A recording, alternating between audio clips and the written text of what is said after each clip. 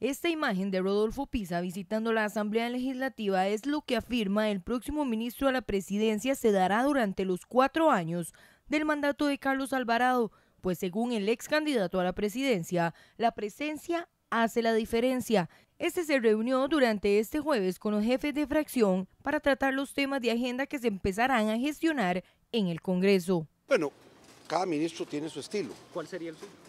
Mi estilo es un poco más de presencia, pero eh, sin exagerar y sin violentar la vida interna de la Asamblea Legislativa y el papel de cada fracción legislativa. Con respecto a la comisión que analizará el déficit fiscal, se afirmó que se escuchará a cada fracción para conocer sus pros y contras con respecto al texto que trabajaban los anteriores diputados.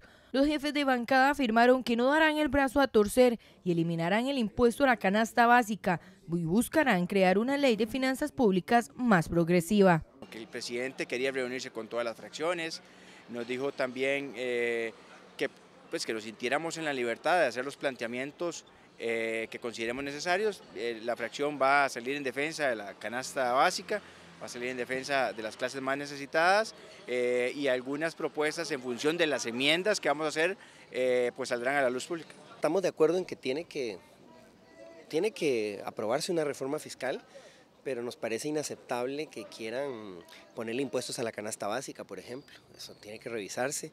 Nos parece que debe ser una reforma mucho más progresiva, que distribuya la riqueza. Eh, tienen que hacerse cambios en materia del impuesto sobre la renta, porque ahora le ponen impuestos a los salarios, le ponen impuestos a la clase trabajadora, pero no tocan los portillos que favorecen a los grandes evasores de este país, a los, a los más ricos, a los que han acumulado más riqueza y son los que tienen todas las formas para eludir legalmente el pago de impuestos. Recordemos que en el anterior proyecto que gestionaban los diputados, el empleo público se sacó del texto sustitutivo presentado por el gobierno, motivo por el cual el Partido Liberación Nacional abandonó la comisión.